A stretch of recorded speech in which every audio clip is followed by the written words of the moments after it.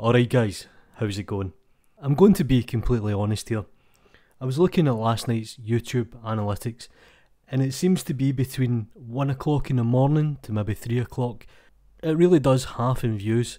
Now, I think part of the reason for that is I've essentially trained YouTube to start publishing at that time, and I've actually created a bad habit, but I need to check something out. So, I suppose I should make something productive as well. So, today I'm going to show you how to texture paint or low poly texture painting. Now I actually recommend you check out Louis du Mont's video. He's superb, it gives an excellent breakdown and it won't be as quick as what I'm going to show to be honest. So we'll just use the default cube like normal and of course this comes already UV mapped. So when I enable texture painting you'll see that it's indicated as purple which essentially means there's no texture image. So when I go to paint you'll see that it actually says missing textures detected. Now this is very easy to overcome. If I jump into the shading tab, I have the material set up. I'm going to press Control and A and then I'll press S to search and I'll search for an image texture. The next thing I'll do is I'll just connect the colours to the base colour. I'll then create a new texture. So I'll go to new, let's call it my texture. Now if you're doing low poly painting, you're better having a small resolution. So I could type in a very low resolution, but what I'm actually going to do is go divide by 4. That'll give me 256, and I'll divide this by 4 as well.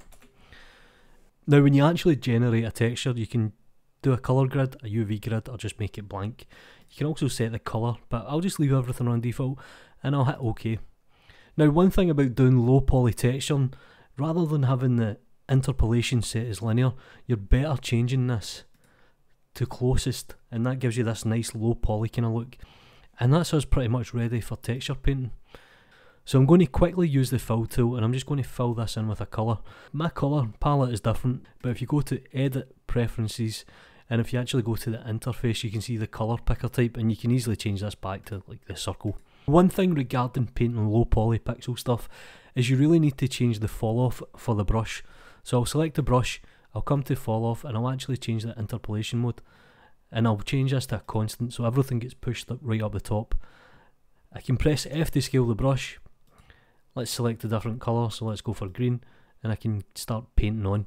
Now if you don't like that, you can always just paint on the mesh and sometimes that's a bit easier.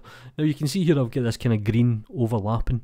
What I can do is I can press S to sample the colour and then I can quickly paint in. And obviously you would go down in brush sizes, you would probably pick a colour close in the range. So let's make it darker and you would start kind of doing stuff like this. Now I'm using the mouse so I do apologise.